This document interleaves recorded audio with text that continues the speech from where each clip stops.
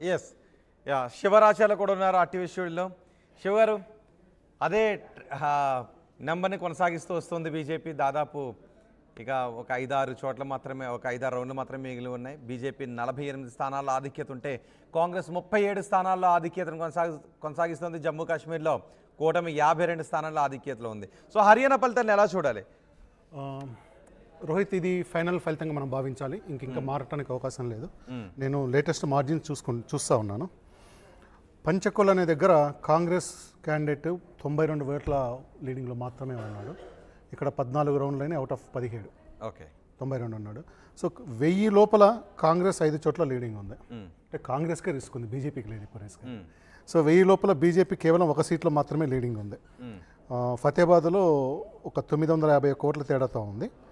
కాంగ్రెస్ మాత్రం ఐదు చోట్ల ఒక చోట తొంభై రెండు ఒక చోట ఐదు వందల ముప్పై తొమ్మిది ఒక చోట ఎనిమిది వందల యాభై ఒక చోట తొమ్మిది వందల ఇరవై ఆరు ఇట్లా లీడింగ్ ఉంది. అంటే తక్కువ మార్జిన్లో కాంగ్రెసే ఉంది. సో ఇది మనకున్నది. ఇవన్నీ కూడా దాదాపు పద్నాలుగు పదహైదు రౌండ్ల వరకు వచ్చిందండి ఇంకొక ఐదారు రౌండ్లు మాత్రమే ఉన్నవి. ఓకే. ఇది ఏమైనా జరగవచ్చు కానీ ఏమైనా జరగవచ్చు రిస్క్ ఎవరికి ఉందంటే బీజేపీ కన్నా కాంగ్రెస్ కింద తక్కువ లీళ్ళు వీళ్ళు ఉన్నారు కాబట్టి. జారిపోతే వీళ్ళ చేతుల నుంచి జారిపోవాలి. ఏమన్నా వస్తే బీజేపీకి వస్తుంది కాబట్టి. రెండు వేల లోపల ఓట్లు అంటే వెయ్యి నుంచి రెండు వేల లోపల మధ్యలో కాంగ్రెస్ మూడు చోట్ల ఉంటే బీజేపీ రెండు చోట్ల ఉంది.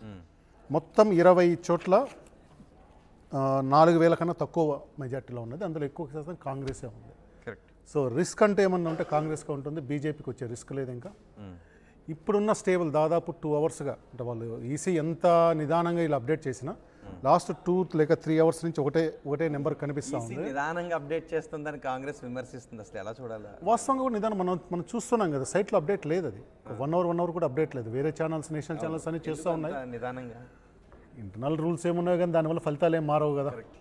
అదే కొంత స్లో డౌన్ చేస్తూ ఉంటారు. ఏమైనా మార్కెట్ ఏమైనా స్టా ఏమన్నా షేర్ మార్కెట్ కోసం ఏమైనా చేస్తున్నారేమో డౌట్ చెప్పలేము అది. భారీగా ఫలితాలు ఏం మారదు. కానీ సర్ప్రైజింగ్ ఎందుకంటే కాశ్మీర్లో మనకి ఏకపక్షంగా వచ్చేసిన అంత అయిపోయింది. కానీ హర్యానాలో మాత్రము డెలిబరేట్గానే స్లోగా ఇస్తున్నట్టుగా కనిపిస్తూ ఉంది. ఓకే. ఇప్పుడు కొన్ని చోట్ల గతంలో బీహార్ లాంటి చోట్ల చూసినప్పుడు ఏంటంటే వాళ్ళు కావాలనే కొంచెం తక్కువగా స్లోగా చూపిస్తూ ఉంటారు. కానీ హర్యానా అంత చూపించాల్సిన పర్లేదు అది అయిపోయింది. సో ఇప్పుడున్న మొత్తం ఇరవై సీట్లలో దాదాపు పదకొండు పన్నెండు సీట్లలోనే కాంగ్రెస్ అంటే మెజార్టీ సీట్లు కాంగ్రెస్ తక్కువ మెజార్టీలో ఉంది. బీజేపీ ఒక ఏడెనిమిది సీట్లలో ఉంది అది. ఓకే. చెప్పినట్టు ఒక చోట తొంభై రెండు ఉంటే మొత్తం వెయ్యి లోపల ఐదు సీట్లలో కాంగ్రెస్ ఉంది రెండు వేల లోపల మూడు సీట్లలో ఉందన్నమాట. కాబట్టి ఇప్పుడు ఏమన్నా నెంబర్లు జారిపోతే కాంగ్రెస్ నెంబరే ముప్పై ఏడు నుంచి శివ గారు ఒక్క నిమిషం ఒక బ్రేకింగ్ చూద్దాం హర్యానాలో కాంగ్రెస్ను దెబ్బ కొట్టిన అంశాలు ఏంటి? హర్యానాలో కాంగ్రెస్ అంచనాలు గల్లంత అయిపోయాయి ఆశలు ఆవిరైపోయాయి. బీజేపీ హ్యాట్రిక్ దిశగానే ముందుకు వెళ్తోంది. దాదాపు ఇవే ట్రెండ్స్ కంటిన్యూ అయ్యే అవకాశం ఉంది. నలభై ఎనిమిది చోట్ల లీడ్లో ఉంది బీజేపీ హ్యాట్రిక్తో uh, ముందుకు వెళుతుంది. హ్యాట్రిక్ అవకాశాలను సజీవంగా ఉంచుకుంది. దాదాపు ఈ ట్రెండ్స్లో ఇంకా మార్పులు వచ్చే అవకాశం లేదు. బీజేపీ అక్కడ మూడోసారి అధికారాన్ని స్థాపించబోతోంది. మరి అనూహ్యంగా అధికారంలోకి వస్తాము. పదేళ్ళ తర్వాత కాంగ్రెస్ అధికారంలోకి రాబోతోంది అని చెప్పిన ఎగ్జిట్ పోల్ ఫలితాలు ఎందుకు తప్పయ్యాయి? కాంగ్రెస్ అంచనాలు ఎందుకు నిలబడలేదు? హర్యానాలో కాంగ్రెస్ దెబ్బ కొట్టిన సమీకరణాలు ఏంటి? కుల సమీక కులాల వారీగా వర్గాల వారీగా ప్రాంతాల వారీగా చాలా సమీకరణాలు వేసుకుంటూ వెళ్ళింది ఒక దశలో. ఆప్తో కూడా స్నేహ హస్తాన్ని కాంగ్రెస్ అందించలేదు. ఆప్ను కూడా దూరం చేసింది.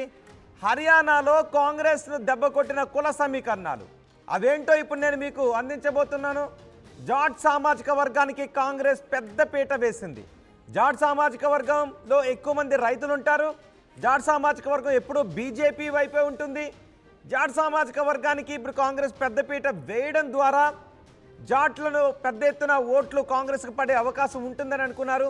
అదే సమయంలో బీజేపీ ఒకవేళ జాట్ సామాజిక వర్గం దూరమైన యాదవ్ సామాజిక వర్గాన్ని అయినా దగ్గర చేసుకోవాలి అంటూ జాట్ సామాజిక వర్గాన్ని దూరం చేసుకోకుండా ఉంటూనే ఇతర సామాజిక ఈక్వేషన్స్ను కూడా బీజేపీ అమల్లోకి తీసుకొచ్చింది.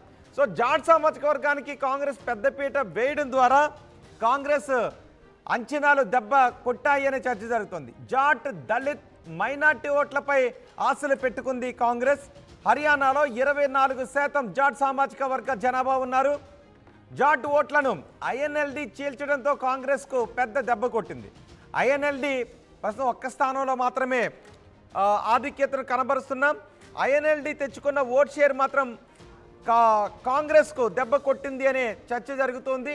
జాట్ ఓట్లను ఐఎన్ఎల్డి చీల్చడంతో కాంగ్రెస్కు దెబ్బ తగిలిందని చెప్తున్నారు.